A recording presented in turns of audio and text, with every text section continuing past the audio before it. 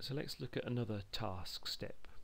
3.3 was check for leaks. So what we've said when we did our initial analysis, after we start the transfer, the operator and or the driver should just look around the system, make sure there's no liquids dripping or even flowing out. Um, you know, what type of task step is it from our list? I think it's fairly obvious we're going to select check in this case.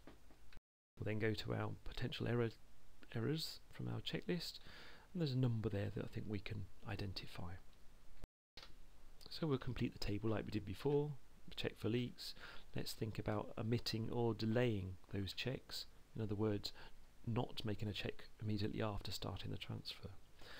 If we delay that step and there is a leak, you know, we're not going to realise it for some time. The spill will be bigger, more material will end up being spilt, and there's a higher chance of escalation. You know, for example, if it's a flammable material, a higher chance of a fire you know, we may say that the fact the operator and driver will be present means that uh, they will probably pick up a leak when it occurs.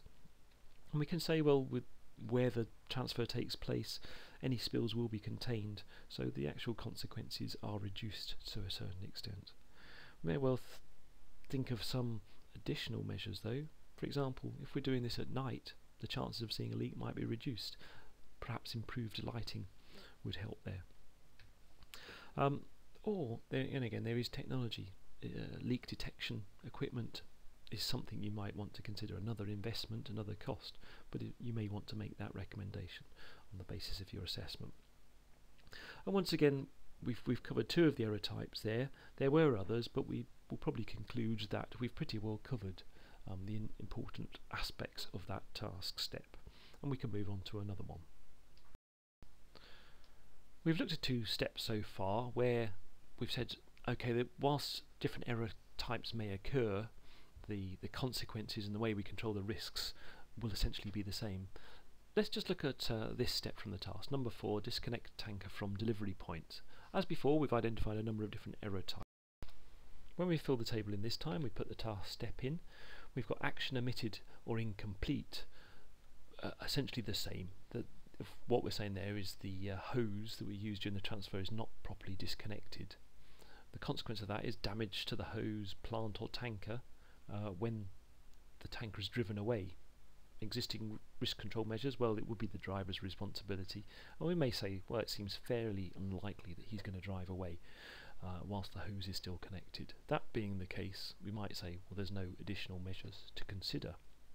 But we had other error types if we look at the action too early, disconnecting the hose while we're still transferring, we're going to get a release of material. There's still liquid passing through the hose, um, and that's likely to leak when we go and disconnect it. Existing risk control measure, well we might say, yes it's a possibility, but actually there's going to be noise, there might even be vibration.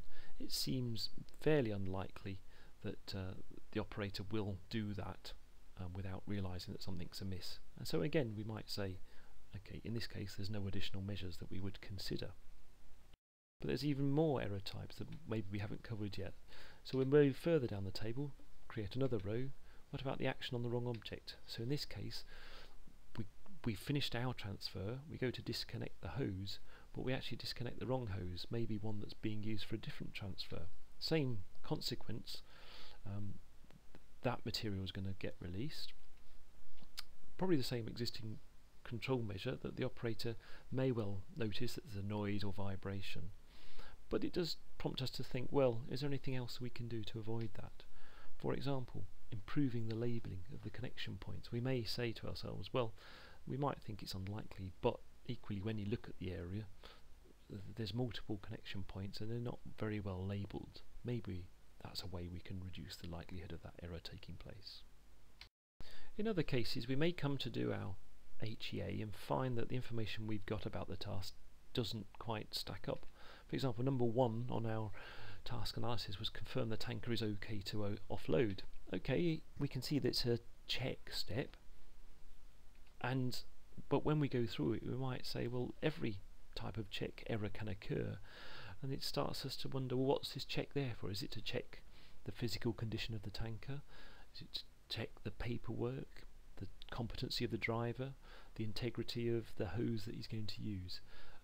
what this may prompt us to think is, well, maybe when we did our original analysis or wrote our original procedure, we didn't really go to the level of detail that we should have done.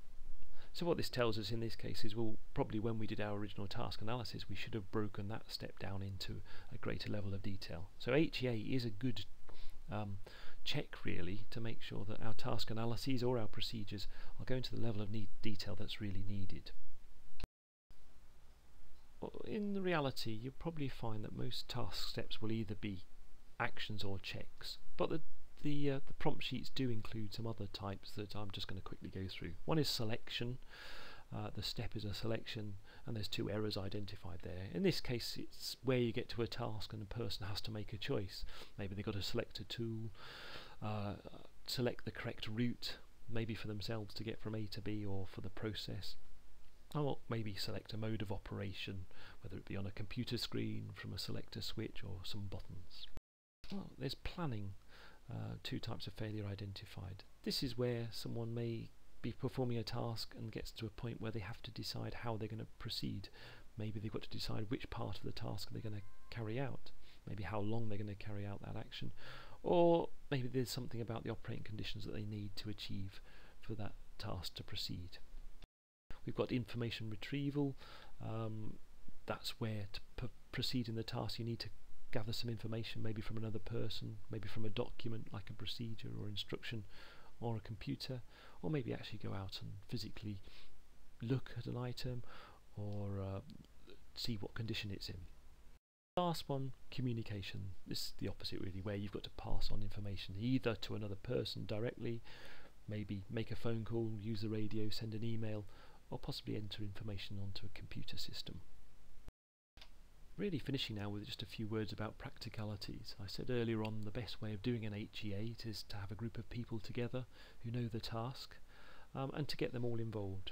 Now I think what you really need is a balanced approach. For example, there are a lot of different types of error that may occur and it is quite easy to get bogged down with going through every error type and spending a lot of time on each. The reality is what we're looking for, are what's the most significant errors uh, and focusing our efforts there. Uh, otherwise, it, there's a real danger you turn people off and they stop participating. When we're looking at the consequences, it it is possible to say, well, there's always the, the, the pos possibility of a knock-on effect or escalation. Um, but you know, what we've got to concentrate on is the credible, credible events there. And just a sort of word that, yes, HEA does tend to focus you on what people do wrong, and I think it's just worth remembering that people make a lot of positive contributions as well. And uh, just to bear that in mind when you're going through the analysis. And really, you know, the, the, the most important thing I would I can say is that it's much better to analyze a small number of tasks really well instead of trying to analyze a lot of tasks where you may well rush through um, and it becomes a bit of a tick box exercise. I hope you found that useful and if you do want any inf more information please do get in touch by any of the means shown on the on the screen there. Goodbye.